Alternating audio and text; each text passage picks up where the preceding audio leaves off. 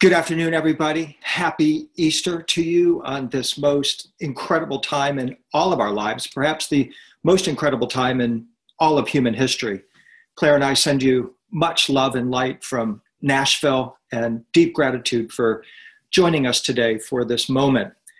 All of us are, are called upon at this moment while we celebrate Easter, while we celebrate the resurrection of Christ and all that means in our lives we're now called upon to take another step forward and to begin to embody the most powerful force in the known universe the compassion of the cosmic Christ. My goal today with you is to put you in touch with that deep part of yourself, that core part of yourself that has that endless reservoir of that compassion, light, and love, and to reset you for what is to come. I want to begin with our cover image. It's one of my favorite transfiguration icons of Jesus. It's from the 15th century, it's Russian. It illustrates the story of when, after the baptism, Jesus takes several disciples, Peter, James, John, up to the top of a high mountain, and he transfigures before them. He literally turns into light. He changes his state of being from flesh and blood into a higher state, which we are assured by the mystics is our true nature, our original state. Jesus is demonstrating what is within all of us in his metamorphosis or transfiguration.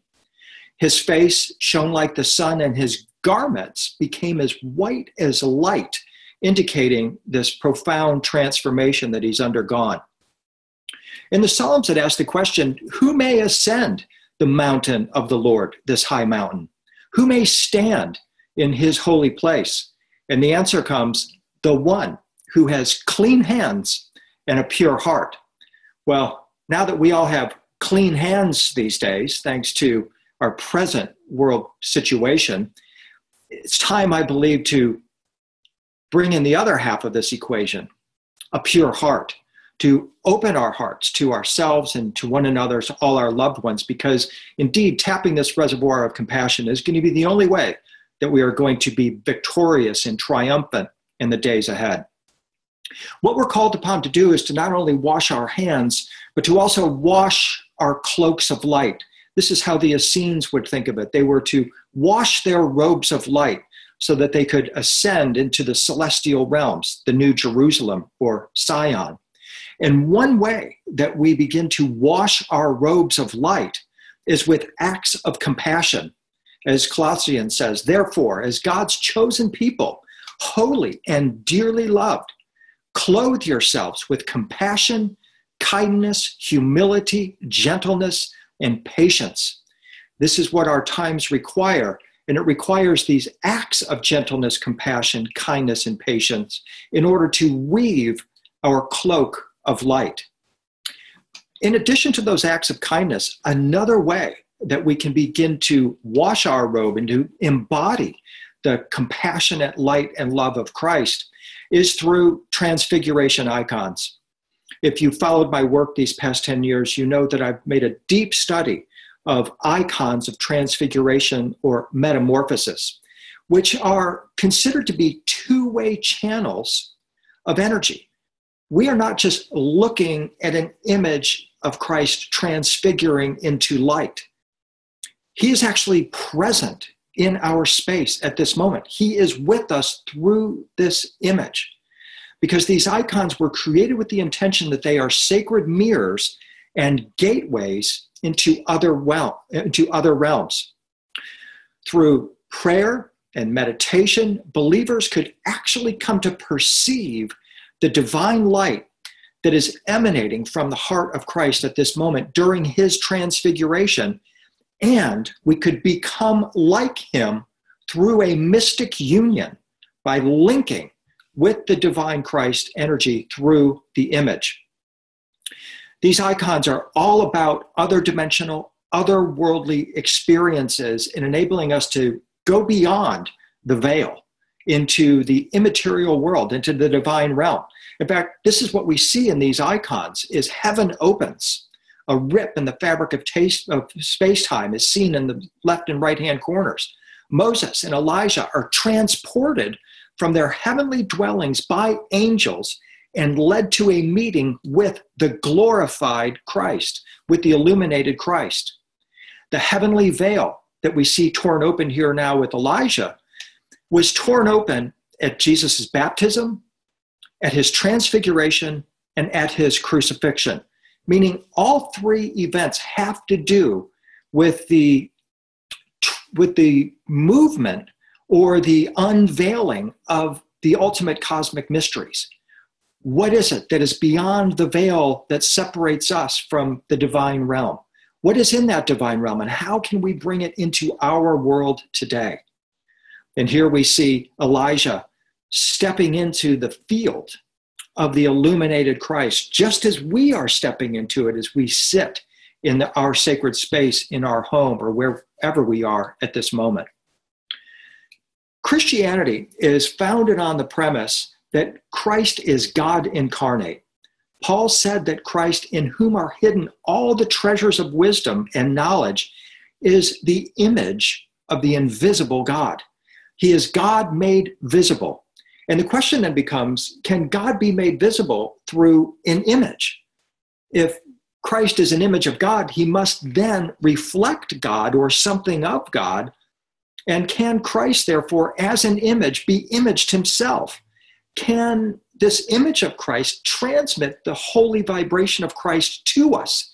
And can we receive this image, or excuse me, can we receive this divine vibration through the image? Or is this like asking if a beam of sunlight reflected on water can somehow leap from the water and take on life? Well, the answer to these questions is definitely yes, according to the iconodules, those who were the lovers of the image, who believed that the image would show us the way to our own divinity, that we could indeed connect with the cosmic Christ through an image. And I will further explain how this could work as we continue. But for the moment, I want to take our journey a little bit deeper. In these, in these images, we're going to see very often Christ is shown performing hand signs called mudras.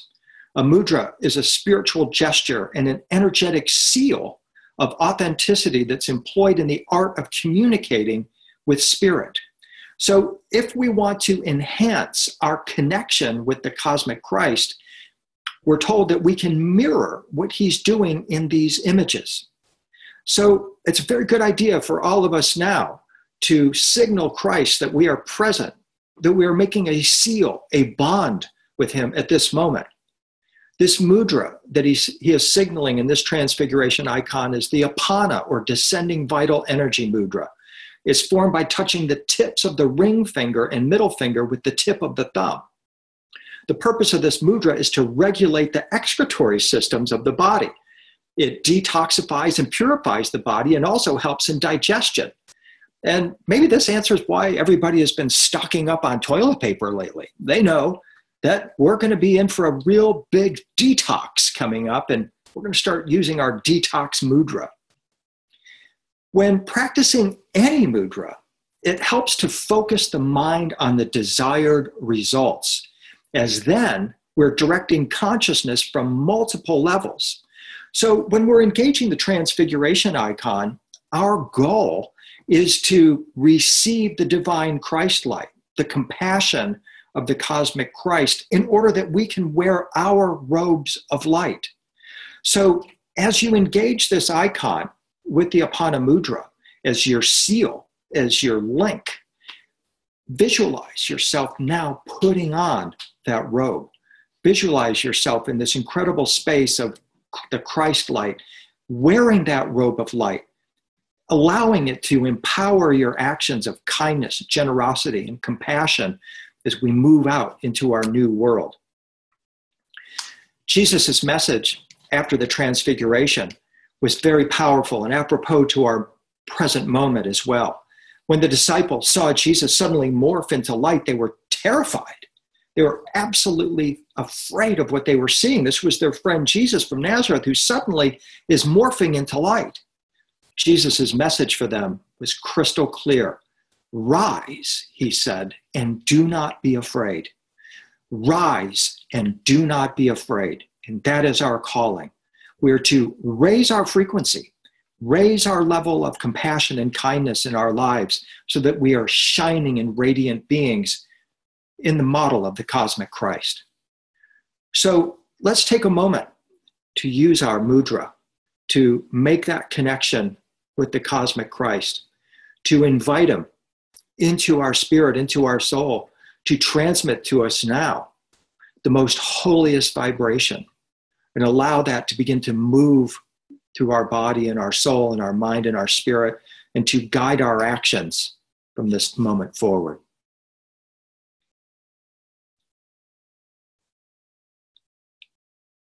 This face that we see in this transfiguration icon is well known to art historians.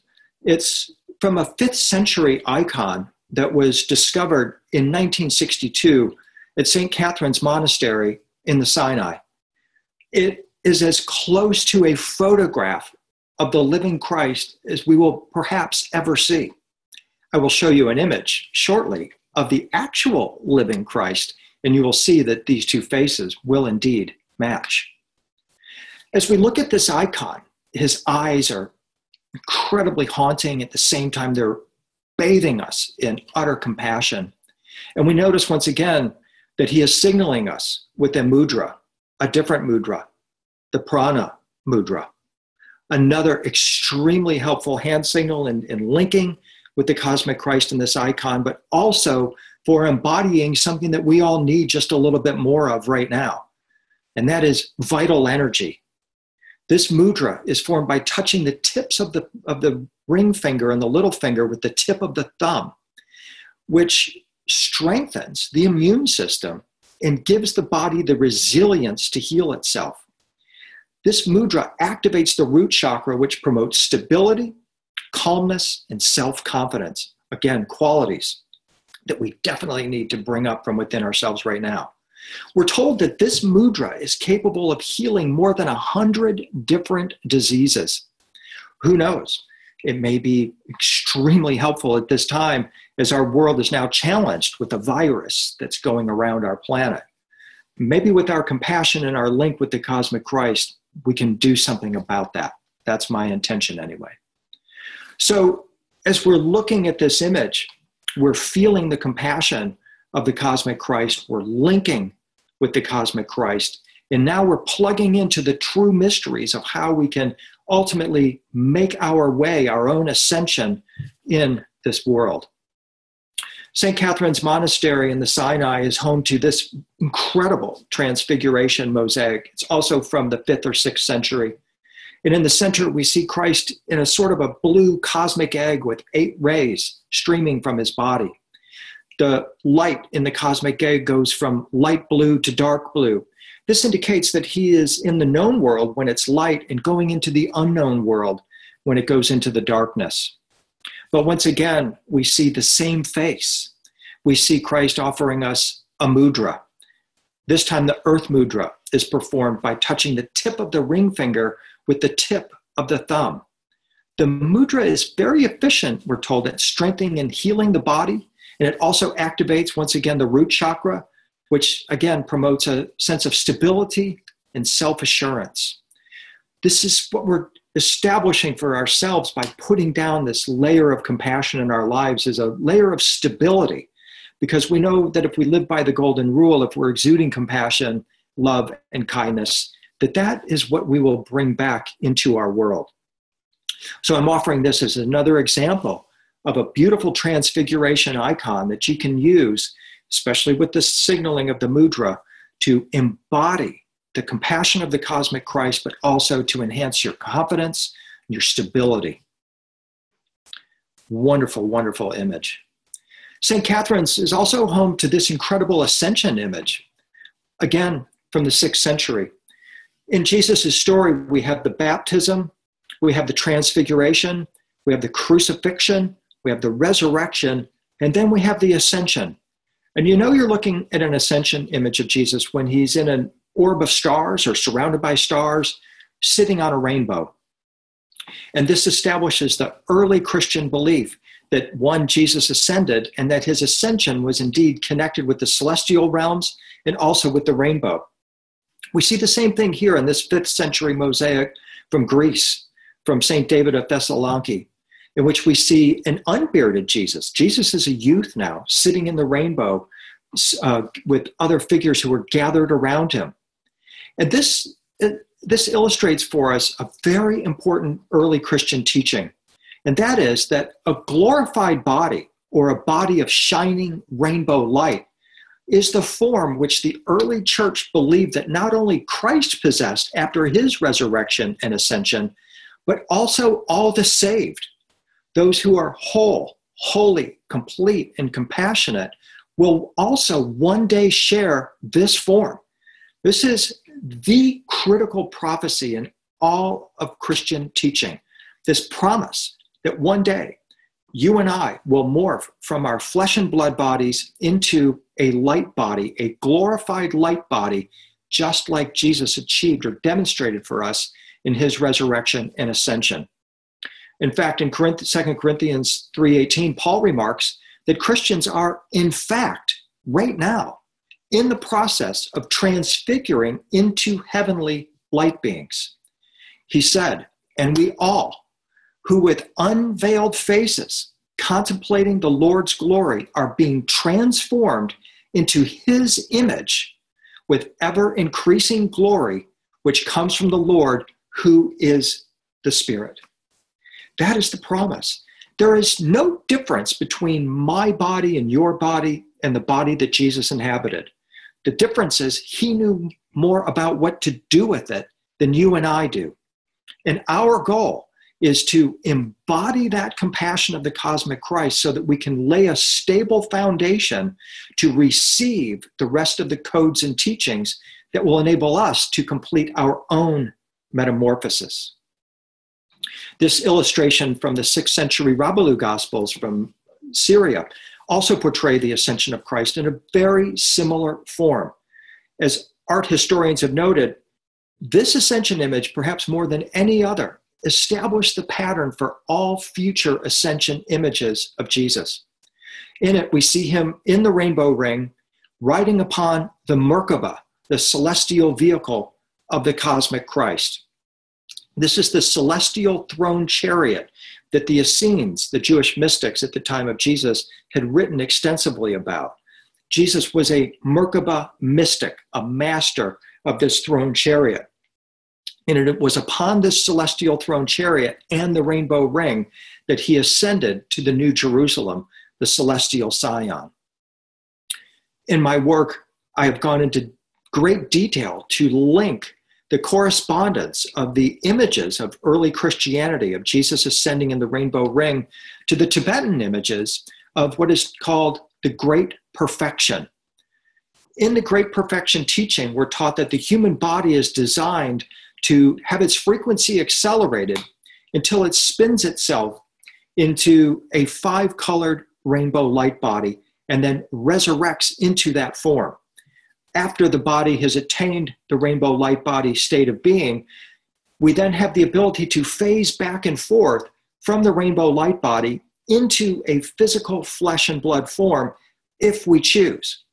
The reason why we would choose to, one, commit ourselves to attaining this state of perfection, and once we have attained it, to phasing back into a physical flesh and blood body, is so that we could deliver the greatest amount of compassion possible.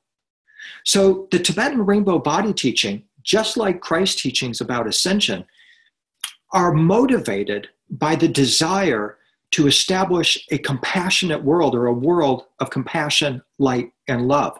And the reason we pursue these mysteries is so that we can become more compassionate beings. In these images of the Tibetan guru Padmasambhava, we see that he holds a resurrection stick, he wears a crown of glory, he has golden rays and rainbow rays coming off his body, and he holds the Vajra, the Tibetan symbol for compassion in action, and he sits on a lotus throne. I'm going to come back to these symbols momentarily. But for now, I want to make a, a very important connection for you, and that is the Tibetans say that just seeing these images of Padmasambhava in his rainbow body awakens our own rainbow body. And I am of the opinion that Christianity has derived its teachings about transfiguration icons and Jesus morphing into light and ascension icons from these very same sources. The Tibetans teach that as an enlightened being, Padmasambhava has the ability to transmit the frequency or vibration of enlightenment to seekers via his physical image, which is equal to pure spirit energy. What this means is that the images of Padmasambhava in, the, in his rainbow body transmits the codes or vibrations of that perfect state. This is why the Tibetans teach that just seeing these images resets our own frequency, our vibration, and activates our own rainbow body. We practice activating our light body, our glory body, our resurrection body, our ascension body by contemplating, meditating, and reflecting on the images that are presented here, be it Padmasambhava in his light body or Jesus. They both teach exactly the same principle. The image, be it an icon of Christ or the icon of Padmasambhava, puts you in the energy field of the guru.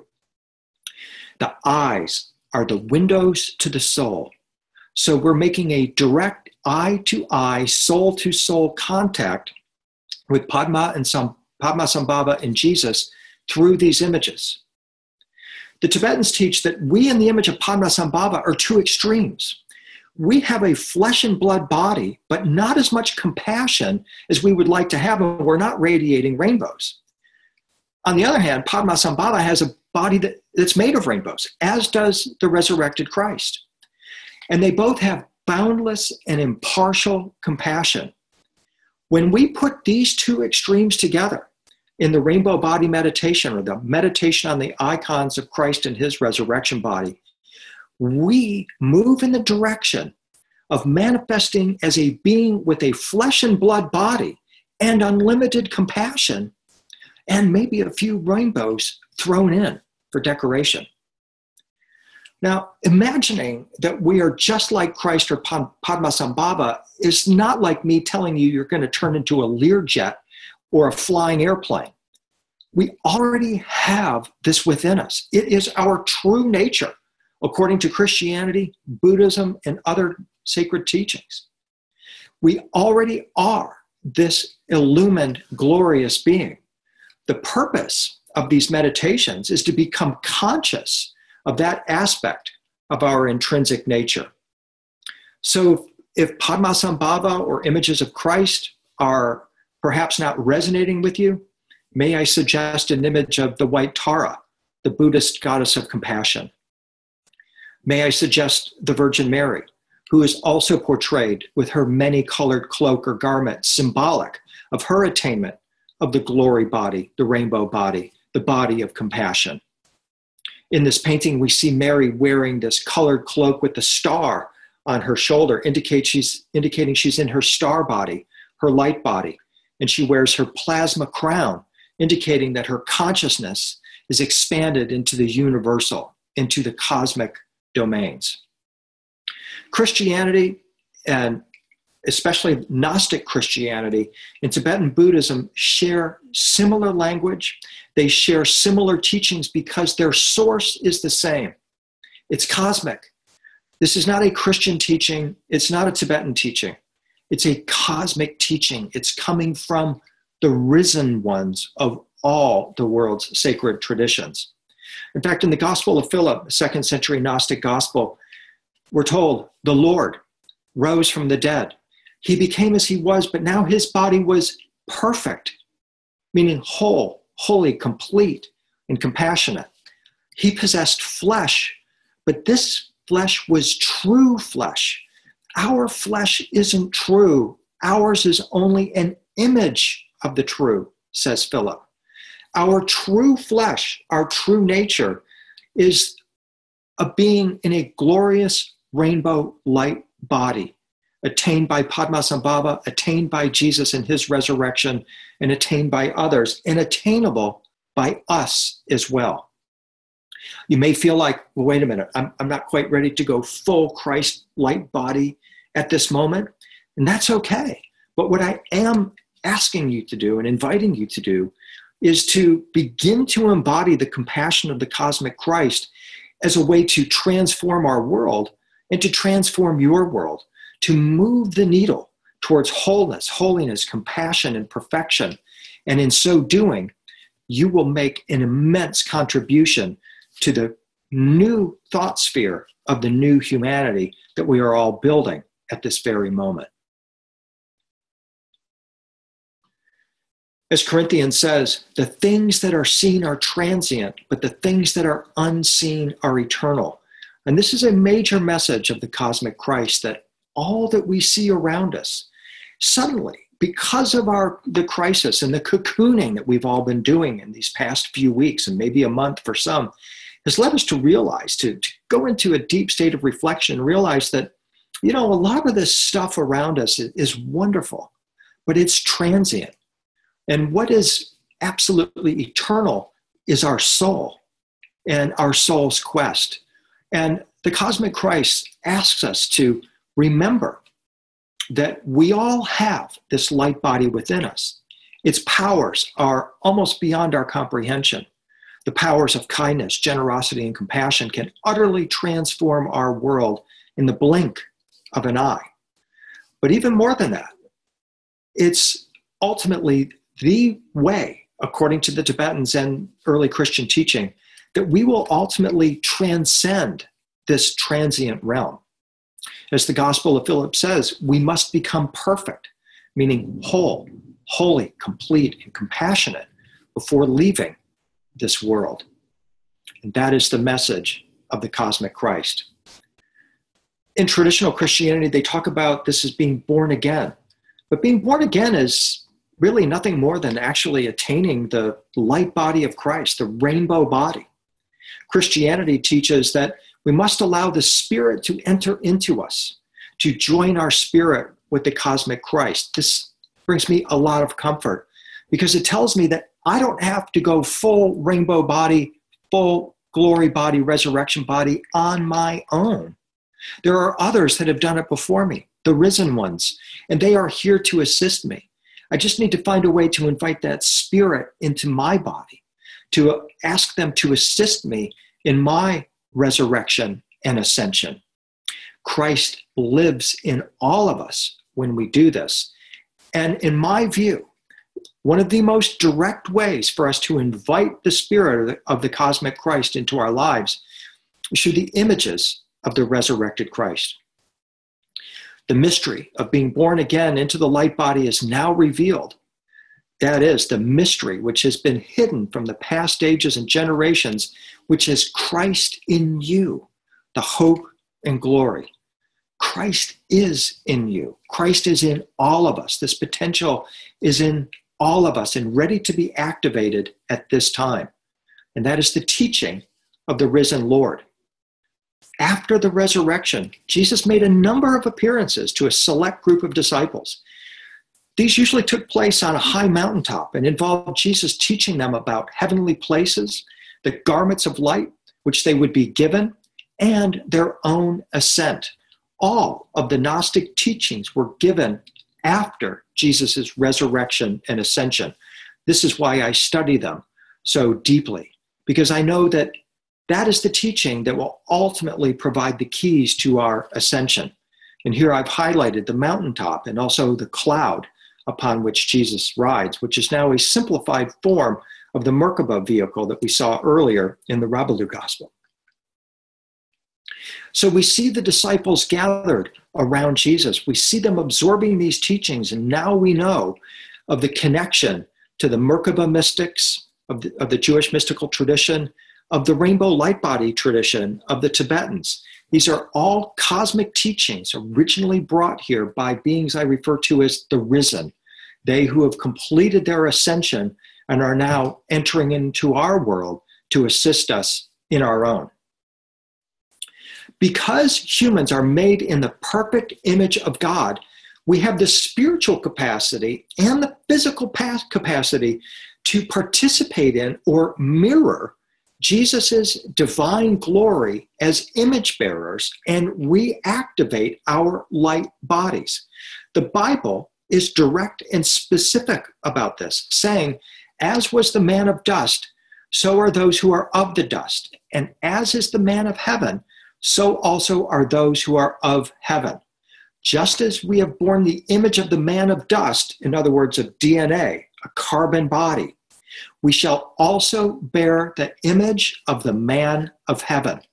We already have this within us. We just need the spirit and the compassion of the cosmic Christ to activate our own glory body or resurrection body. Earlier, we noted the resurrection stick, the crown of glory, the Vajra, symbol of compassion and action, and the rays of golden light and, and rainbow light coming off the body of Padmas, Padmasambhava. Now we note that we see exactly the same symbolism in the resurrection images of Jesus, who wears the helmet of salvation and carries the rod of enlightenment, his holy resurrection stick. He wears his garment of light, and he has a rainbow ring around his body. These images are both illustrating the perfect state of wholeness, holiness, and compassion that all of us have already within us. And again, the promise is, is that there will come a moment in time when we shall be changed in the twinkling of an eye at the last trump. For the trump will sound, and the dead will be raised imperishable, and we shall be changed. And isn't it remarkable that at this time we have a figure in the center of our world who is, has change spinning all around him, and his name just happens to be Trump? The change that we're talking about here is a change into our ascended bodies, into our bodies of cosmic and compassionate light. And the assurance is that this can happen in the twinkling of an eye, like that. And that is the promise of our time that we are living in a moment where we will be able to activate our light bodies and transform our world. And what we need, in my view, to assist us in doing this are mirrors images of the cosmic Christ guiding our imagination, letting us know that we are on that path. We all have two choices before us right now. Ever since Revelation 2012, and by that I mean the year 2012, that year of immense transformation, we have been living in the days of judgment. In the book of Revelation, chapter 20, verse 12, which is the final judgment, it says, I saw a great white throne and one seated on it. The earth and the heavens fled from his presence, and no one place, excuse me, and no place was found for them. And I saw the dead, great and small, standing before the throne. And there were open books, and one of them was the book of life, and the dead were judged according to their deeds as recorded in the books. Have you ever thought about this possibility that we're living in the judgment day time when all the books are open when all our lives are transparent? Just ask people that have been outed because of the Me Too movement. They've been judged. All their life, their books have now been opened, and they are experiencing that moment of judgment. And we're told that will all come for all of us. And this is why it's now a time for us to find that place of compassion and kindness and generosity and stability within us, that spirit of forgiveness. Because we can either focus on punishing people continually, or we can focus on finding that compassion within to ultimately forgive them. But of course, in order to forgive, we need justice first. And we need that balance in our world of equal justice for all. So I'm presenting to you these images of Christ on the rainbow as imagery to feed your imagination, as imagery that can activate your own light body, like John the Revelator, who's, who's seen here going over the rainbow bridge of consciousness and peering into the heavenly realm, the throne of Sion, where the ascended Christ dwells. And we see all the other rainbow light beings that are around him. As John said, there was a throne of God. His servants stood in the place of perpetual heavenly light. The Essenes believed that this perpetual heavenly light would one day bathe the entire planet, bathe us in that light, that cosmic light of compassion, of love, of truth, and kindness. And we're almost there. And we can bring that in in an accelerated way by all reaching deep within and raising our vibration closer to the wholeness, holiness, and compassion of the cosmic Christ, who once again has his resurrection stick, his crown of glory, his golden rays, just like Padmasambhava. The images will show us the way. We can enter into this higher divine state through the image. It's already within us. We just need to activate it. Padmasambhava in his light body, holding the Vajra, the symbol for compassion and action, the cosmic Christ. It's the exact same state of being. And I make this comparison, one, to illuminate and to draw these connections together and to bring a comfort level that if some aren't deeply comfortable with the, the connection of a Christ-like being, that perhaps you will find more comfort in connecting with the Tibetan guru Padmasambhava or other beings who radiate or have manifested the rainbow light body. But for us who follow the Christ path, we are making eye to eye contact now, soul to soul contact with Christ in his rainbow light body. And he is transmitting to us the codes that can activate our own light body to stimulate our ability to manifest that unlimited light of compassion and love. Jesus told us through his crucifixion, or showed us through his crucifixion, what all of us were capable of doing. He pulled back the veil and revealed the mystery for us. And to me, one of the most profound images of Christ on the, in the crucifixion is by John Van Eyck, who is actually an alchemist, the inventor of oil painting, and was literally considered to be a spy. In this profound image, we see Christ on the cross, not suffering, not bloodied, not beaten, as we see in traditional Catholic images of the crucifixion, but rather we see him as an illuminated being. We see him in his glory body, his resurrection body, his rainbow light body, making eye to eye, soul to soul contact with us, transmitting the rays of the resurrection body to us at this very moment. I will share with you a very powerful personal testimony with this image. I assure you that if you connect with this image, it can, it can produce profound things in your life my wife Claire suffers immeasurably from migraines that I, I, can't even believe what she goes through when she has one of these migraines. I, I can't even watch it, let alone contemplate experiencing the level of pain and suffering that she feels. And one day I, I put, this has happened a while ago, I, I decided to use the power of this image. And so I started doing hands on healing with Claire when she would have these moments. And before I would do the hands on healing, I would call up this image in my imagination. I would ask Jesus to, to empower my hands, to light up my hands. And then I would put them on, on Claire's head, and she could feel it. She could feel the energy coming through my hands, coming from Christ in this image into her head.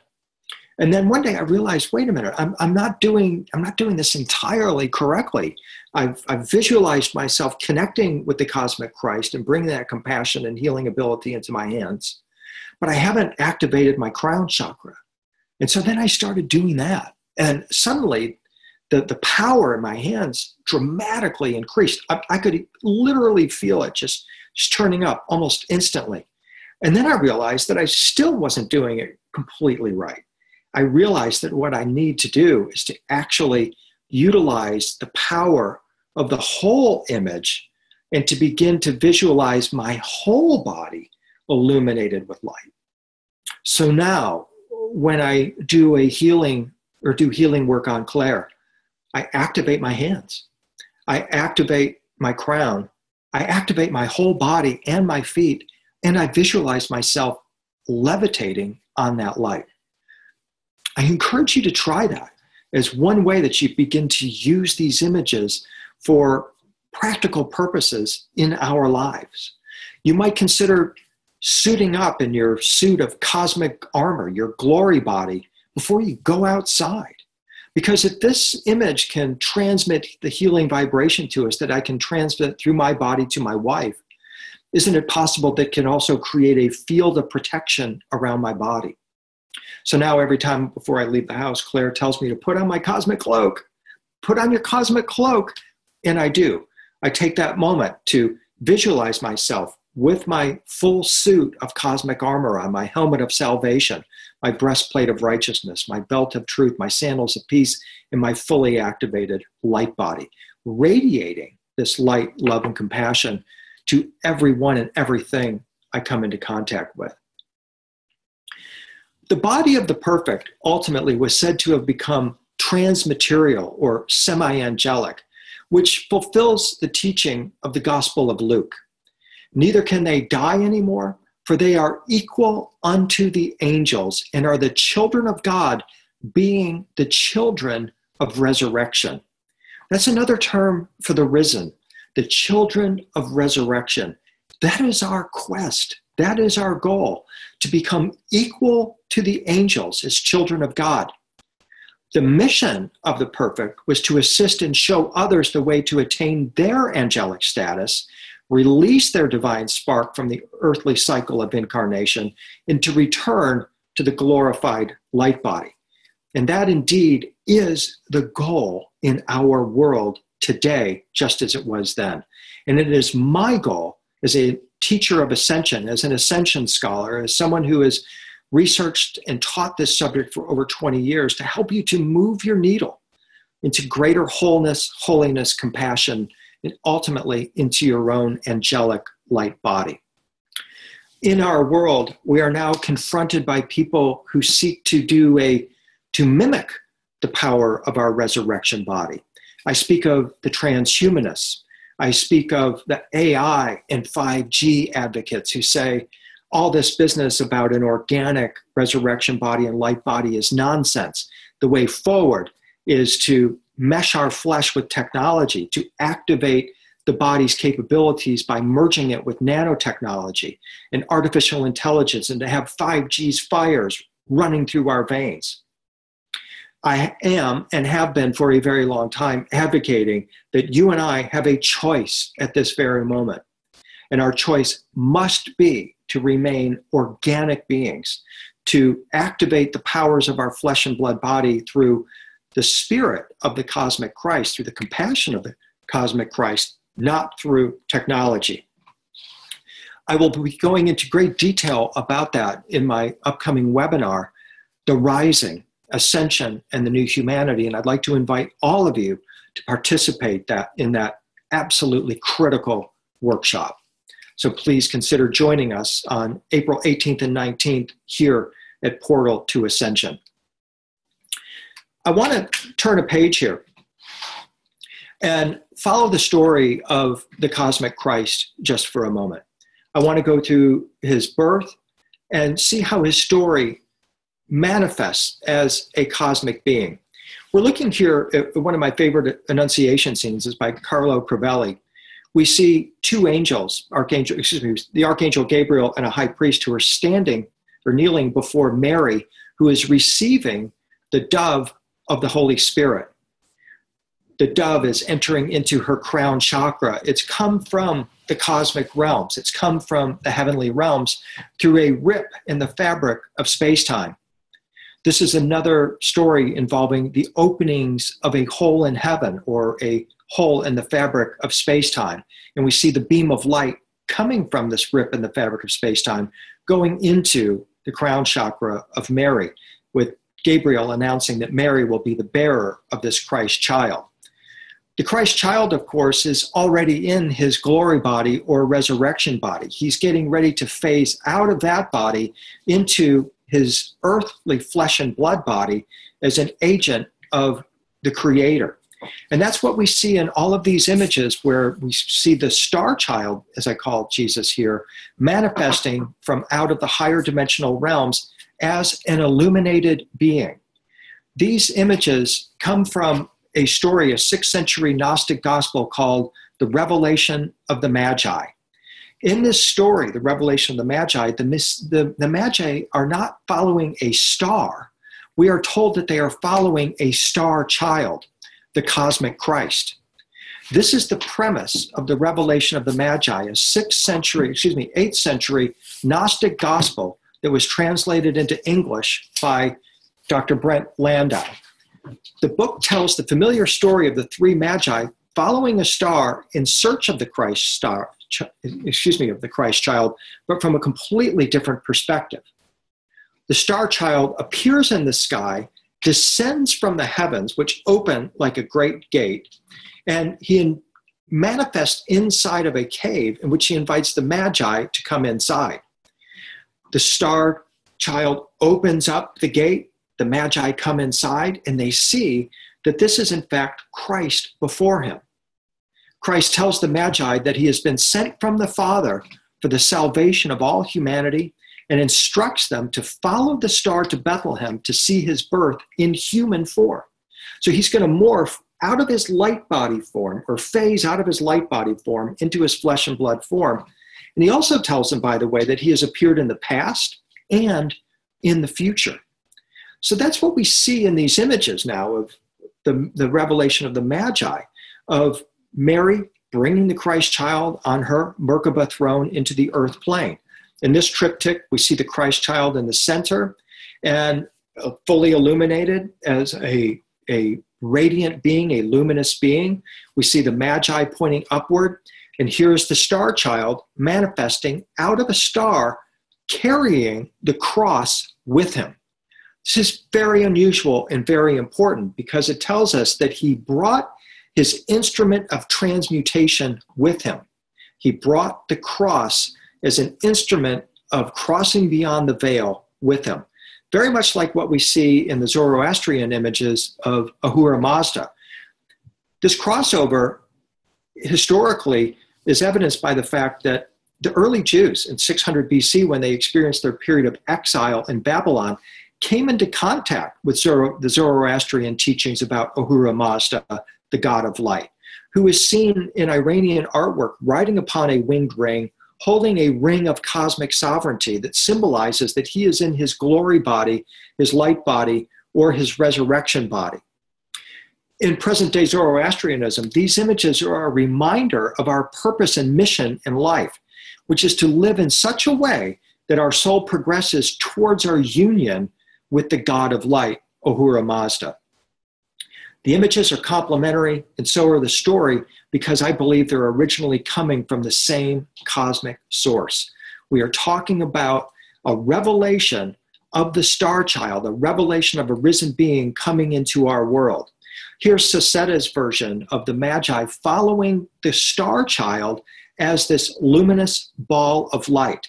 What we're actually seeing is the cosmic Christ spirit breaking from the fifth dimensional world into the third dimensional world and preparing to morph into a human form, one that is visible to humans. And that's what we see in these resurrection images of Jesus, is that he has morphed into his light body form. Another favorite is Roger van der where once again we see the, the Magi looking up at the Christ child and the orb of light. Clearly, a cosmic traveler, a light being who has come from the cosmic domains with a message about ultimate compassion and transformation, and preparing now to morph into a physical flesh and blood form to deliver his teaching about light, love, and compassion. And ultimately, the teaching surrounds the belief or focuses on the belief that we all will one day mirror Christ in his ascension and resurrection. We all will attain that rainbow light body. In this image, of course, we once again see the Christ child in, an, in a radiant halo of light. We see the watcher angels opening up a hole in the fabric of space time. The watcher angels are the risen ones who are present for the arrival, the emergence of this cosmic being who manifested on earth 2,000 years ago in order to show us the potential that is within us as cosmic beings. And as I discuss in my forthcoming book, The Return of the Risen, the Essenes and the perfect light body. The meeting of the Magi was not a chance meeting. This was all planned by the Essenes. They were following what theologians call the star prophecy, in which the Essenes were anticipating the arrival of a high celestial being who would manifest on the earth plane to show us how to transform into celestial beings. Pliny mysteriously claimed that the Essenes themselves had been on earth for thousands of ages, hinting that they are an eternal race that exists outside of time. These are the risen ones. They're referred to as the immovable race of perfect light humans, the immovable race, or simply the race. I call them the risen. And their, their mission was to call in this high celestial being so that this being then could assist us in manifesting a planet based on love, light, righteousness, and compassion, and a planet in which souls could attain their ultimate cosmic divinity. To the Essenes, angelification or changing our body into our light body form, the angelic light body, was a return to our original primordial state of perfection. Our ultimate quest is to unite Earth with the otherworldly realm of light and join the greater family of light, the risen ones. And that is what is happening on our planet right now. We are all gathering together, absorbing these teachers, un- these teachings, uniting as one in order, in order to return Earth and all of humanity to the family of light. Again, the Lord rose from the dead. He was a star being who came to show us the way towards our own ascension. The Essenes community rule tells us this high heavenly being would reveal the mysteries of eternal being concealed from humankind. And at that time, the righteous will be rewarded with healing, great peace and a long life and fruitfulness together with every everlasting blessing and eternal joy and life without end, a crown of glory and a garment of majesty and unending light. That's our goal to get that crown of glory and that robe of majesty and unending light. And as I will talk in my presentation, The Risen, my workshop, it is such a remarkable synchronicity that the word corona means crown. And this is this coronavirus is now giving us a, an incredible cosmic opportunity to go within and to manifest that crown of light. And also our robe of light, which was transmitted to Jesus at his resurrection. In Leonardo and Verrocchio's painting, we see the, the, the vibration of the cosmic spirit, of the, of the Holy Spirit, manifesting and being transmitted into the crown chakra of Jesus. The two angels wait beside him, and they offer to him the robe of light that is to accompany his crown of glory. The transfiguration is what follows the baptism of Jesus. When John the Baptist, the Essene mystic and initiator, baptized Jesus, he put a transmission of a vibration into Jesus' earthly body that would enable him to wear his robe of light, his cloak of light, the cloak of the illumined ones. And this is why immediately after the resurrection, excuse me, after the baptism, Jesus takes the disciples up to the top of the mountain and reveals himself as a being of light. He transfigures, he demonstrates to the, to the disciples the capability that is within all of us. This robe is called the robe of light, the robe of sanctity, the robe of glory, the shining garment, the garment of light, the beaming garment it exudes something called exousia, which means authority, jurisdiction, liberty, power, the right to act, ability, privilege, capacity, and strength. Everything that the powers that be are trying to take away from us at this very moment. So, if we want to recover our authority, our power, our capacity, our privilege, our liberty, then one way to do that is to begin to cloak ourselves in our robe of light. And how do we do that? By connecting with images of Jesus in his light body through the icons as I'm presenting, but also through acts of kindness, generosity, and compassion. This is exactly what Jesus demonstrated for us immediately after the transfiguration.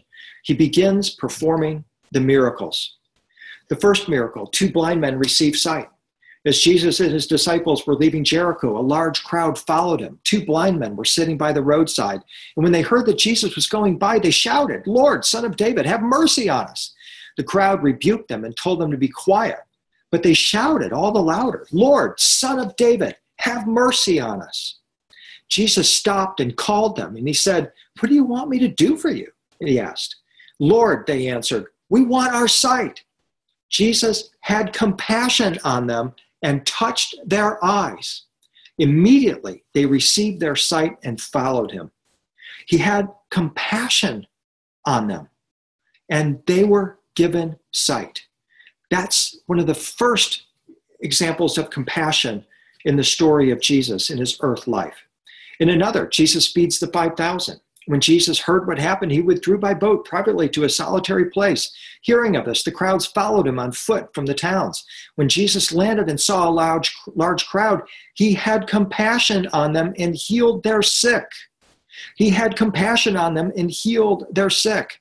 As evening approached, the disciples came to him and said, This is a remote place and it's already getting late. Send the crowds away so they can go to the villages and buy themselves some food. But Jesus replied, No, they don't need to go away. You give them something to eat. We have here only five loaves of bread and two fish, answered the disciples. And Jesus said, Bring them here to me. And he directed the people to sit down on the grass. Taking the five loaves and the two fish and looking up to heaven, he gave thanks and he broke the loaves. Then he gave them to the disciples, and the disciples gave them to the people. And they all ate and were satisfied. And the disciples picked up 12 basketfuls of broken pieces that were left over. The number of those who ate was about 5,000. This is the power of exponentialism. Through compassion, Jesus enabled the disciples to tap into a power within themselves. Did Jesus split those loaves or did the disciples do it? Whichever way, it's the power of exponentialism. The 12 took the loaves and they split them, and then the people that had those loaves split those. This is the power that we need to tap into our world right now. This responsibility to transform our world into a planet of love, light, righteousness, compassion doesn't end with you. You're the beginning. What if you told five people, or and they told five people, and they told 10 people, and they told 10 people? This is the power of exponentialism that we all need to tap into at this time. Then there's the story of the leper. No one was allowed to touch a leper for hundreds of years before the time of Jesus. But suddenly, a, a leper came before him and asked Jesus, Are you willing? Can you make me whole? This, this leper knew all about Jesus and that he had the ability to do it. The question was not about whether Jesus could do it. The question was, did Jesus have the compassion to heal him? Jesus answered that question by what he did next. He stretched out his hand and he touched him, saying, I am willing, be cleansed and immediately the leprosy left him. Mark's account says that Jesus was moved with compassion. It was the compassion of the cosmic Christ that healed the leper, that divided those loaves and fishes, and healed the blind man as well. Now, understand what Jesus was doing when he healed this leper. He risked becoming infected too. If he were us, and he was out at the store and someone's walking around with coronavirus, we'd all be grabbing for the hand sanitizer or be headed for the door because interacting with someone with coronavirus is almost illegal in our world. The people that have this virus are now almost to the level of the lepers of the ancient world. People are so freaked out about this, and for very good reason. But Jesus was willing to become ceremonial unclean in addition to risking having leprosy. He already knew he was at such a high frequency of compassion, light, and love that he could resist the leprosy. But what about becoming unclean? Anybody who touched a leper was said to be ritually unclean. What Jesus did next was very strange and very important for us to understand. He said to the man, Go and show yourself to the priest and make an offering for your cleansing, just as Moses commanded, as a testimony to them. Leviticus had said that if somebody is healed from leprosy, leprosy, he needs to tell the priest so the priest can verify the healing. So the leper went to the priest, and the priest knew exactly what this meant. This healing was Jesus' way of announcing to the priest that the Messiah, the cosmic Christ, had arrived. And it truly began his mission. He, be, he came to show us what we can do and how we can use the compassion to defeat a terrible beast that one day would rise up on the earth. That beast has arisen. That beast is here now. It has many powers, many terrible powers artificial intelligence, 5G, viruses. It's coming at us right now and it seeks to put a mark on our forehead or a mark on our hand, a tattoo that says, You've been vaccinated from coronavirus. It will enable us to be tracked. We can't go back into society if Bill Gates has his way. Mr. Gates, of course, is a number one candidate for that beast of revelation who wants to put that mark on us. And this is why it's time for us to rise. Some people say, you know, we didn't give our consent to this. But the answer is actually, we did. Every time we've gone online, every time we've used our phone, every time you've used an email, anytime you've done anything with this technology, you've given your consent to these people that you want this technology. You've paid for it. You bought it. That's their point of view. So we have to get beyond any kind of blame in this scenario. We have to push back, not with hatred, but rather we have to push back with compassion. We have to overcome them by showing others a better way to live.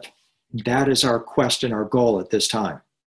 Therefore, as God's chosen people, holy and dearly loved, clothe yourselves with compassion, kindness, humility, gentleness, and passion and patience. And if someone like Bill Gates needs compassion, right up the root chakra. That's how we send him compassion because he's got obviously a lot of work to do. And I think Jesus would agree with us that what is being done to us right now is criminal on a cosmic scale, and it requires compassion on a cosmic scale. We must meet the beast. And the thing is, the book of Revelation, as I, w- as I will explain in the Risen, tells us the beast loses. The 144,000 followers of Christ with the glory in their foreheads defeat that beast. And that is our quest. Dear children, let us not love with only words, but let's love with actions and in truth. Let's put the spirit of the word compassion into our doing because compassion isn't concerned with our material well being and material things, it's concerned with our spirit and alleviating the suffering of others. So let's be kind and compassionate to one another, forgiving each other, just as Christ, God, forgave us. The icon makers believed that we can synchronize with the cosmic Christ through the image because emanating from his heart and transmitted through his eyes is an ambient magnetic field of love, a field of compassion. Through the image, the Christ energy can bypass our conscious mind and literally influence us at the quantum level in a non local way.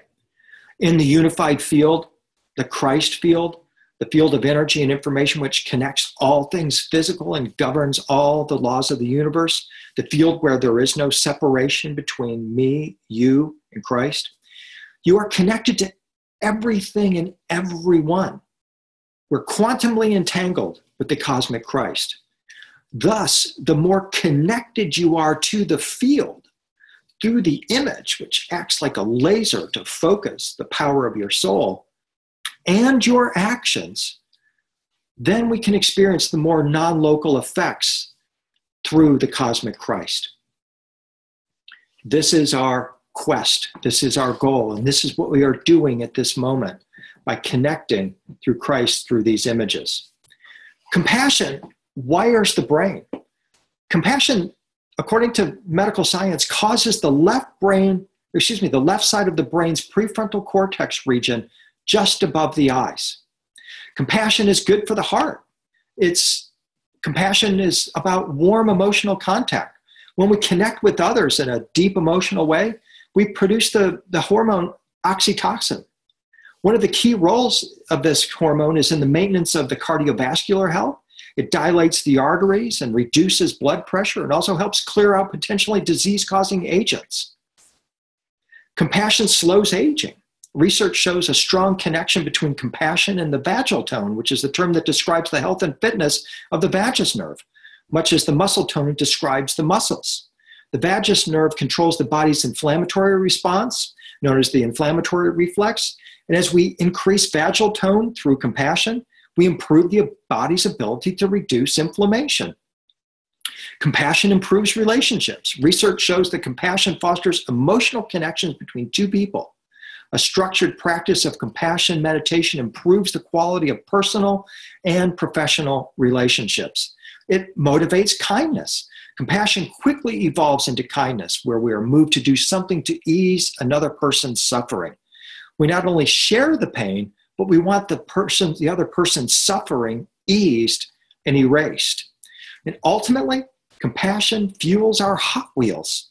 In the image of the cosmic Christ, he has the activated crown, the activated healing hands, the activated light body, and the activated wheels of the cosmic Christ called of the Merkaba throne. I want to turn now to the crucifixion, excuse me, the resurrection morning on Easter morning. We're going to do that by turning to this incredible painting, The Morning of the Resurrection by Edward Burne-Jones.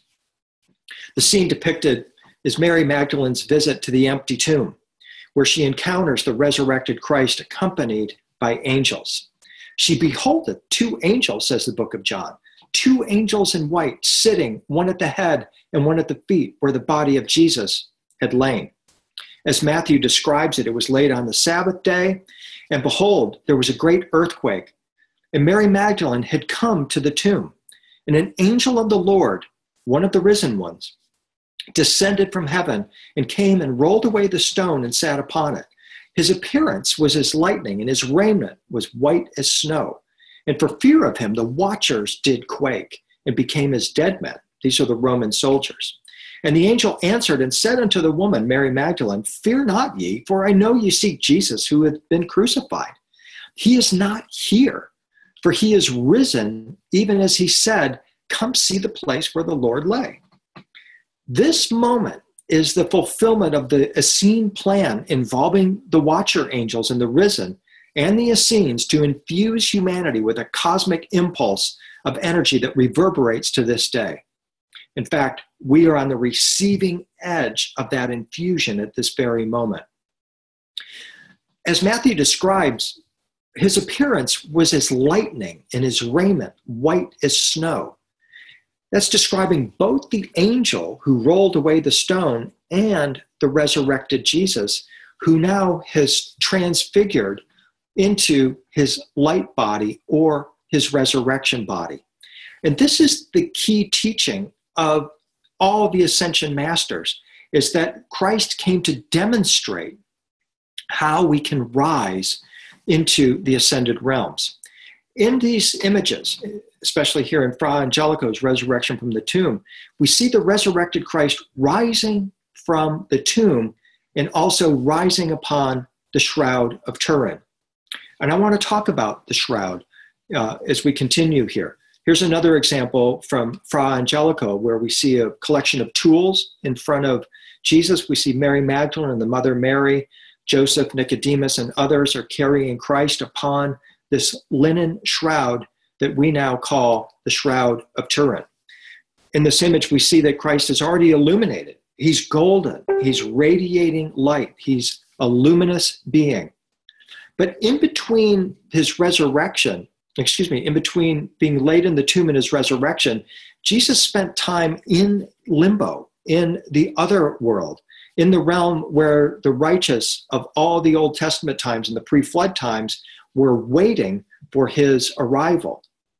And in Christian art, we see him descending into the underworld as this illuminated being, illuminated being carrying his rod of resurrection, preparing to free all of those who were waiting for his arrival. in these scenes, we see that he has got demons that are all around that he will duke it out with, that he's overcome. These are the, the beasts of the ancient world. In this example here from the Chora Church in Istanbul, we see Jesus descending into limbo through a radiant portal or gateway. He wears his garment of luminous light, indicating he's already a light being, and he's gone into this otherworldly realm in order to retrieve the righteous from the pre flood times. And then he rises on Easter morning. He appears to Mary Magdalene in the garden wearing his luminous garment of light. And he tells her, Do not touch me. Do not touch me, indicating that he's no longer in his physical flesh and blood body. He is now in his risen body. He is now in his light body. He's now in his glory body, a holographic type of body that is luminous, radiant, but still humanoid. It's a manifestation of his flesh and blood body. It's a return to his original form. And this is why in Christian art, in these Noli me tangere scenes or do not touch me scenes where Magdalene is seeing the risen Christ for the first time, we see that his cloak or his garment is covered with stars. It's because he is now in his ascended form. He's in his star body his radiant body, his glory body, his light body. He has completed his earthly transformation. And he always in these scenes carries his resurrection stick. Jesus said, I am the resurrection and the life. Those who believe in me, even though they die, will live. Both medieval and Renaissance art began to depict the resurrected Christ by using the flag of St. George, which is therefore his symbol of resurrection. In the 15th and 16th century in Florence, Italy, we see these incredible images of Jesus rising from the tomb as a star being, as a cosmic traveler preparing to return to his original form. So he phased in, in from his light body form, took on flesh and blood form, and then in his resurrection phased back out and now wears his star cloak or resurrection body in this artwork. In this example here from Florence, we see he's literally got a cloak covered with six pointed stars, the same as the cloak of light of the angelic beings, as the risen beings. That cloak of light symbolizes the Shroud of Turin, which is the burial shroud of Christ. The shroud is a herringbone linen fabric measuring about 4.1 by 1.1 meters, or about 14 feet by 3 feet. It contains the double image of a man both the textile fiber that's used, the linen, and the processing method, and its measures corresponding precisely to the 8 by 2 Syrian cubits tell of a Middle Eastern origin, of a Jewish environment, and of funeral rituals of a specific time, the first century AD. Yesterday, April 11th, 2020, the Catholic Church did something quite remarkable. The Archbishop of Turin allowed the Shroud of Turin to be put on display. I, along with millions of other people, tuned in to watch this display and was somewhat surprised that they chose this specific angle to view the shroud. They didn't show the shroud in its complete form, presenting to you the illuminated body, front and back, of a crucified man. Instead, they only showed it from this angle, which made it very difficult to detect exactly what you were looking at. I don't know why they did that, but I'm just kind of perplexed that they did. That the fact is, is that one of the mysteries of the shroud, or one of the, the intriguing things about the shroud, is that the image of the resurrected man can only be seen from a distance. If you're looking at the shroud close up, you're not able to distinguish those physical features. And there's a reason why that is so, a scientific reason why that image can only be seen from a distance. And the reason why is because the image on the shroud is a photographic negative, not a painting, of a man who was tortured, who was beaten, and who had had a crown of thorns impaled on his head, and who carried a heavy crossbeam on his shoulders. It was only with the invention of photography And this first ever photograph of the shroud in 1898, that, that we were able to perceive what was actually encoded onto the shroud of Turin by this resurrected man, who I am absolutely certain was Jesus or Yeshua. Again, it portrays a man who was crucified with nails driven through his wrists and his heels, exactly corresponding to the crucifixion story told in the New Testament. The Bible describes the mocking of Jesus before his crucifixion. Part of this mocking include the placement of a crown of thorns on his head. This was not done to other crucifixion victims, but the shroud shows evidence of wounds from sharp spike-like uh, utensils around the top of his head. Shroud experts believe that a crown of thorns is the source of the blood flows on the head of the man in the Shroud of Turin, pointing us to the reality that this is, in fact, the burial shroud of Christ. And I'm going to share with you some of the scientific evidence that tells us why we believe that this is truly the burial shroud of Jesus. For one thing, the face is a dead ringer for what we see on this early Christian icon. That is part of the historical evidence that we're going to show. But Dr. Gilbert Lavoie has pre- presented evidence that the bloodstains occurred when the shroud, the person evidenced in the shroud, was actually standing upright and was levitating. The only way that that image could be, could be created based on the position of the feet with the toes on the right foot pointing downward and the left knee slightly more flexed is if this figure was suspended. In addition, there's no crushing from the buttocks, the back, or any body parts on the reverse side of the shroud. If a body was placed on that linen shroud, you would see evidence of that crushing. There is none. It's a perfect image, which is consistent with the hypothesis that Jesus was in fact levitating up in an upright position when that image was formed. His hair doesn't fall down on his shoulders in a crushed way. It's as if he's standing upright, again, supporting this hypothesis.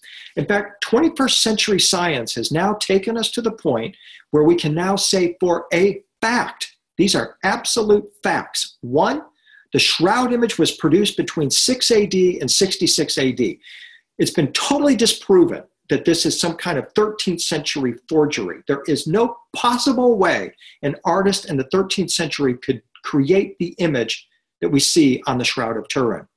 Number two, pollen on the shroud tells science it came from Jerusalem or it had been there at that time between 6 AD and 66 AD in the springtime.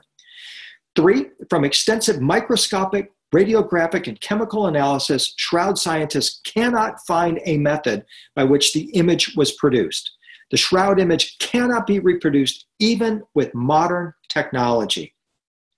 Experts are in agreement that the image on the linen shroud is not made up of any physical substance such as paint or pigment. So, how did it get there? Again, there's no possible way that this is a forgery by some 13th century artist because there's no paint, there's no pigment, there's no evidence of any physical substance that produced this image. Why? Because it's not a photograph and it's not a physical image. While it manifests in the physical plane, it was produced by non physical spiritual means. Scientists from Italy's National Agency for New Technologies, Energy, and Sustainable Economic Development spent years trying to reproduce the shroud's markings with all the best advanced technology. And they came to the conclusion that the image on the shroud is, in fact, an alteration of the surface of the linen by some effect of light or radiation, something which also makes the linen turn yellow. The light energy was able to image the body and surrounding objects, including the markings on the tops of coins placed on his eyes and the flowers at exactly the same time that this image is produced. And they have demonstrated that certain key features of the image can be replicated by projecting short duration, high intensity ultraviolet rays on the surface of the linen. They can't exactly duplicate the, the image, but they know they're go headed in the right direction.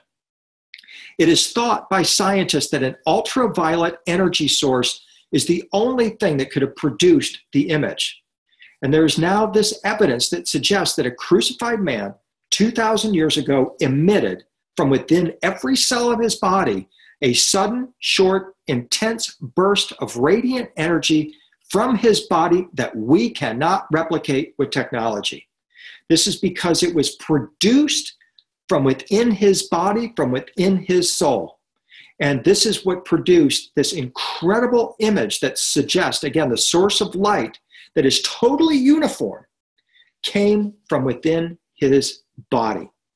This is not a photograph, but it is an artifact of the resurrection of Jesus. And again, when we look at the shroud, the markings clearly show a body that endured extreme torture followed by crucifixion.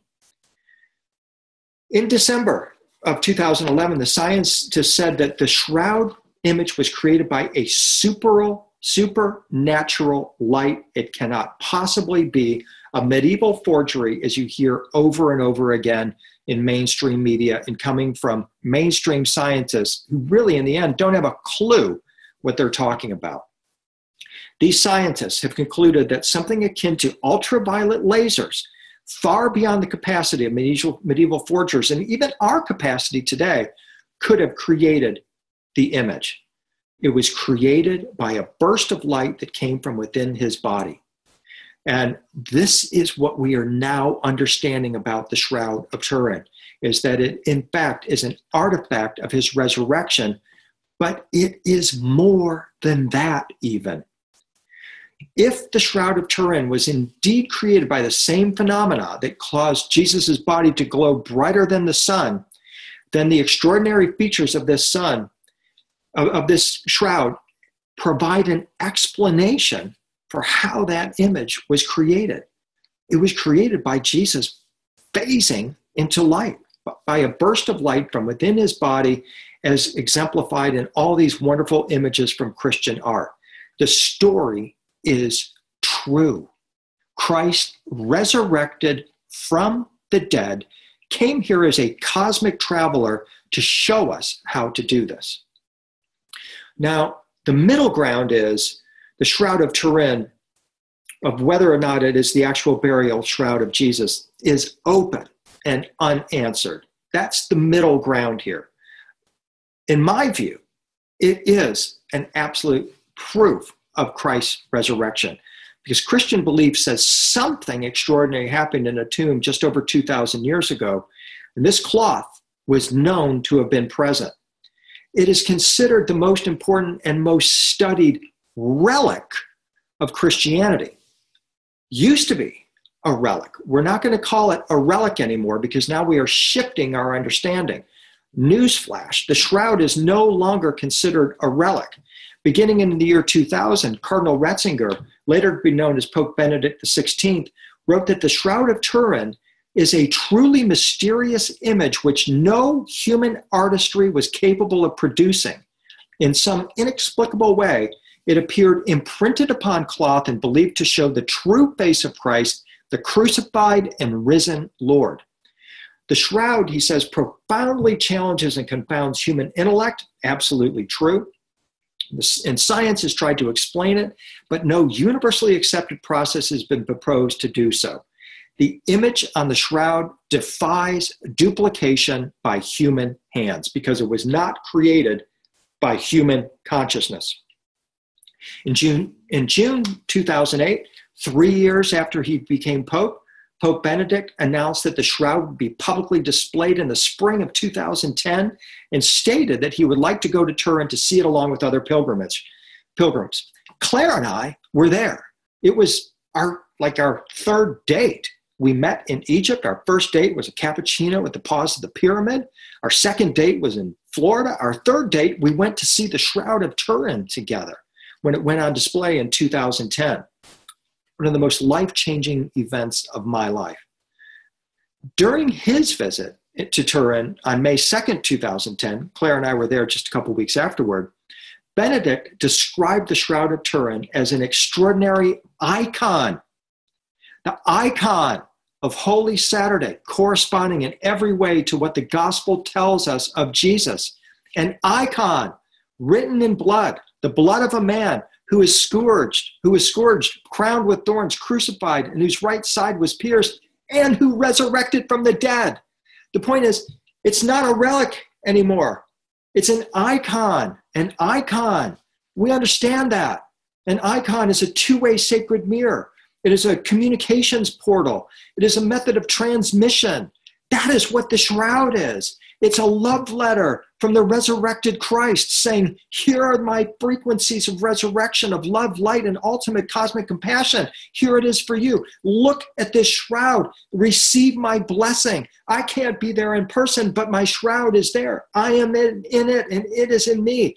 I am in you, and you are in me. We are all together. We are quantumly entangled. And through this icon, I can transmit to you the codes of, of resurrection. It is an icon written in his blood and his light and his love and his compassion. One of Benedict XVI's last acts of Pope was to authorize the broadcast of video of the shroud from Turin Cathedral, first time it was seen on TV. In a carefully worded message, Pope Benedict asked and answered a rhetorical question How is it that the faithful, like you, pause before this icon of a man scourged and crucified and resurrected. It is because the man of the shroud invites us to contemplate Jesus of Nazareth. That is the closest the Catholic Church has come to saying this is the resurrection shroud of Christ. This is the resurrected Christ that is right before you. They will not take that extra step because why do you need the church after that? You don't. All we need is the shroud. And This is my photo from 2010 on our first visit. Claire and I were five feet away from it.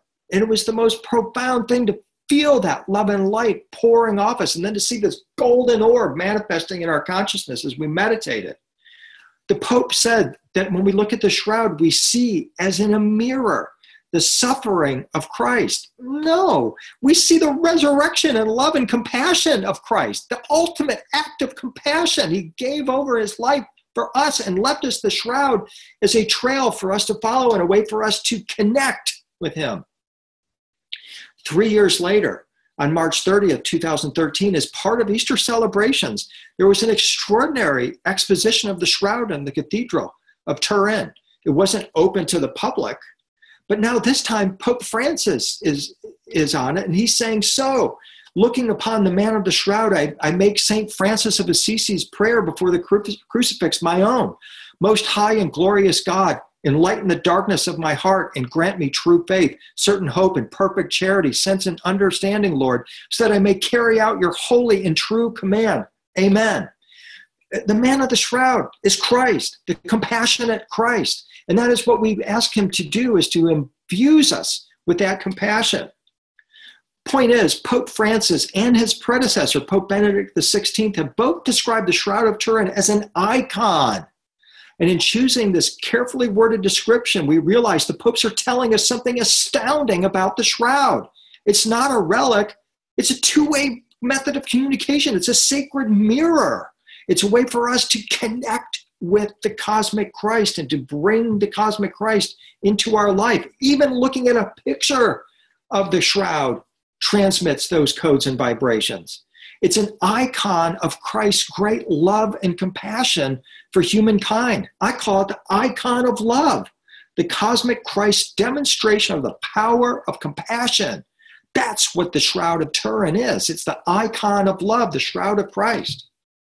And the fact that it was the custom of artists who made paintings of the shroud to have their paintings make contact with the shroud suggests the belief that I'm right, that it could transmit a blessing. It transmits a blessing. So, if the Shroud of Turin is a two way mirror, a method of communication with the cosmic Christ in the heavenly realms, it's literally a portal or a conduit, right? Yeah. Is the material world and the spiritual world open to each other through the Christ icon of love? Yes. How far can we stretch this? I think we can stretch it pretty far. I mean, like really far. But before we do that, I, I want to just give you further evidence that the face on the Shroud of Turin belongs to Jesus and historically, we can show this without a shadow of a doubt. Now, that scientifically, we know exactly that the shroud was present at the time of Jesus. And now, historically, through paintings, we can show this as well. In early Christian art, Jesus was not portrayed the way he is on the shroud. He's shown as a young, bearded, beardless man. He's shown as the good shepherd, for example, in the in the model of the Greek god Helios.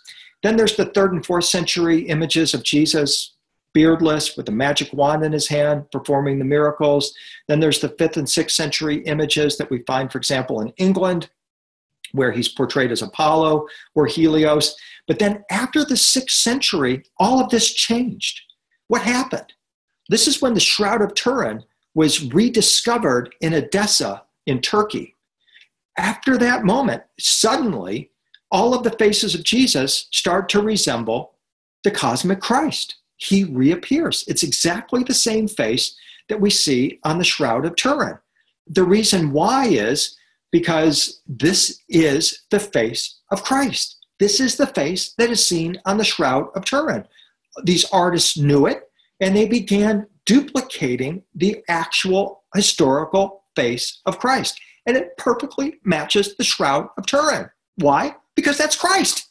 That is the resurrection shroud of Christ. There's absolutely no doubt about it from an artistic and historical perspective. And now science is saying the same thing. You put the grid pattern over the image of Christ at, at St. Catherine's over the Shroud of Turin, it's a perfect match. Absolute perfect match. The only way this is possible is if these artists all suddenly had a simultaneous vision of Christ, or if one of these artists had seen the Shroud of Turin when it was in hiding and began revealing the original and true face of Christ that appears on the shroud. And now they start duplicating that image. And this is what we see historically. Now we're coming up into the 15th century. It's exactly the same face as what we see in Sinai. This is Cimabue, 14th century, same face as on the shroud. Bellini, same face on the shroud. De Messina, Raphael, they all got the memo. This is the face of Christ because Christ is the face that we see on the Shroud of Turin. It's his resurrection shroud, his icon. And what these artists are actually creating for us are additional icons through which we can make eye contact with the cosmic Christ. And isn't that kind of a, a pun on icon? Icon, eye contact the cosmic Christ. That is the purpose of these images is for us to see eye to eye so that Jesus can enter into our soul and transmit the Holy Spirit. And of course, this is exactly what Leonardo shows in his famous Christ Pantocrator, a painting that just sold for $453 million on auction in 2017. It's exactly the same face as what we see at St. Catherine's Monastery in the Sinai, and they're both carrying the triple dot symbol of the power of resurrection. He brought that orb with him, uh, in my in my view. It's part of what he brought as the, the cosmic star child.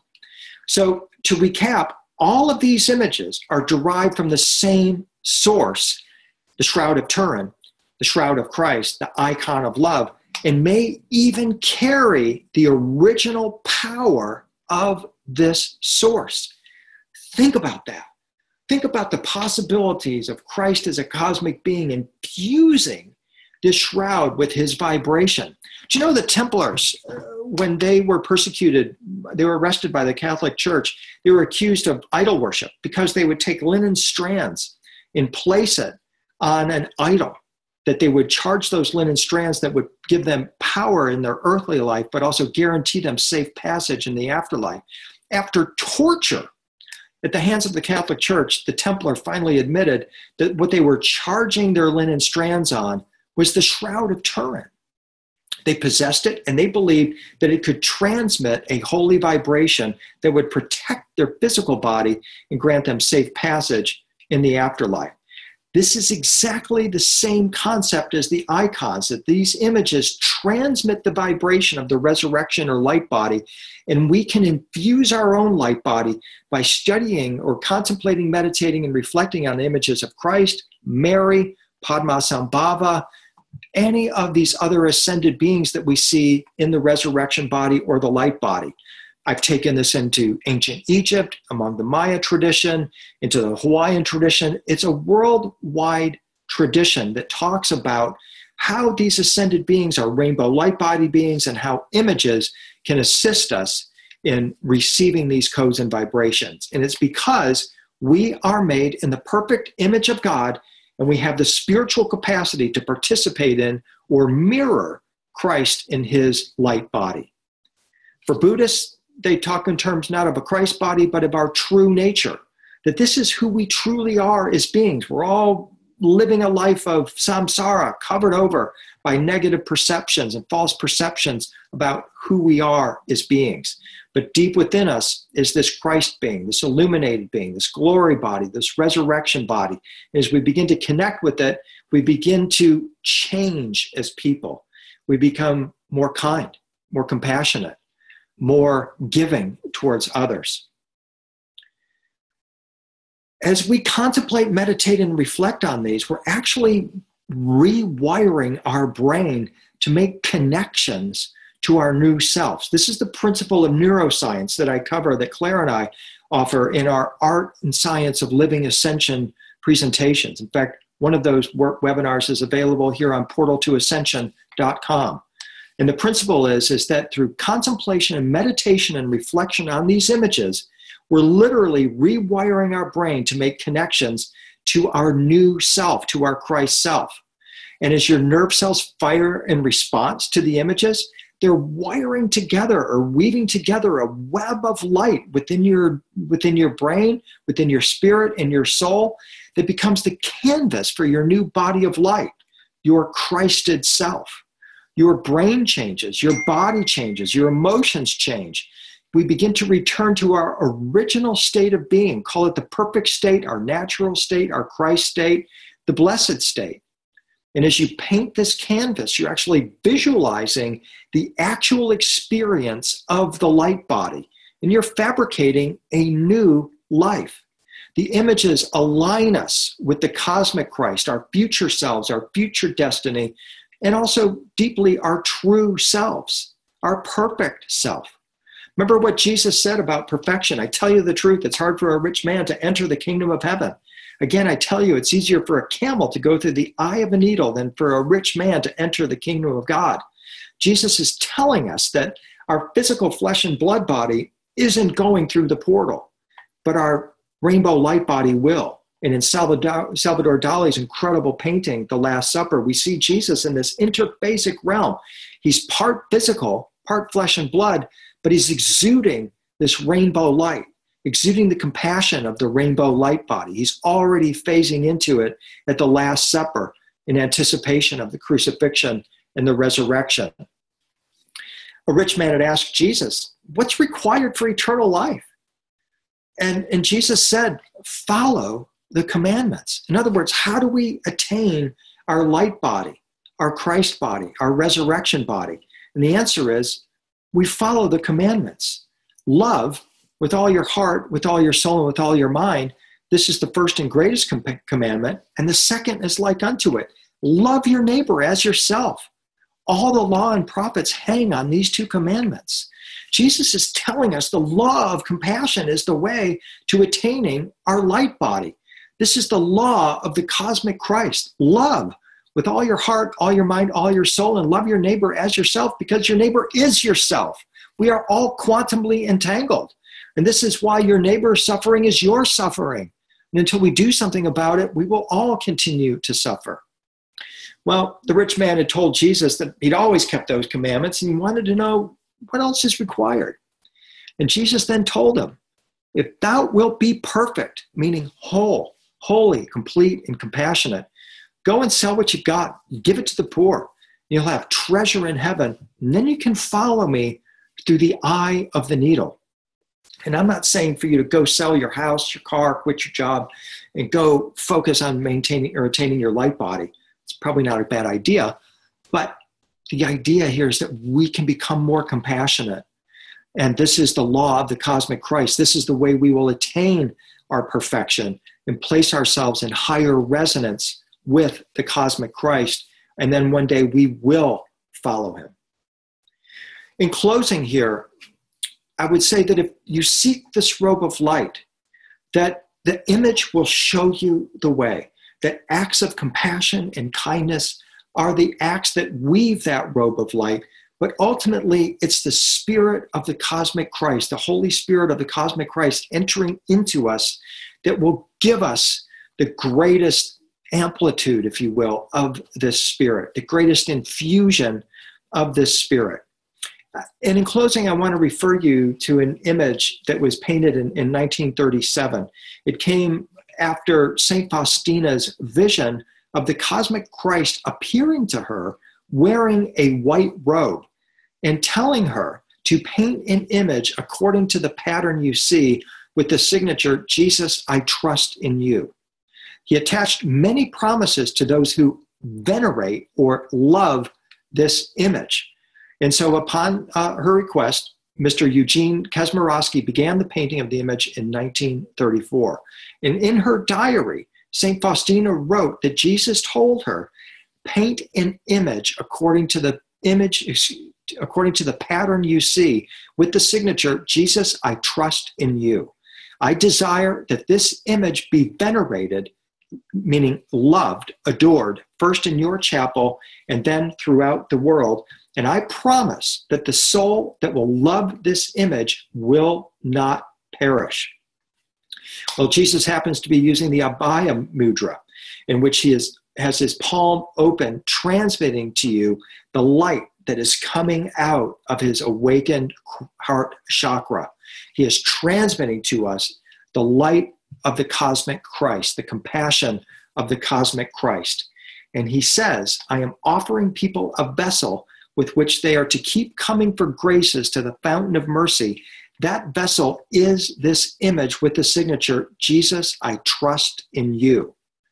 Our goal, Jesus is saying, is to let God's love flow through this image to our heart and to all those who need it.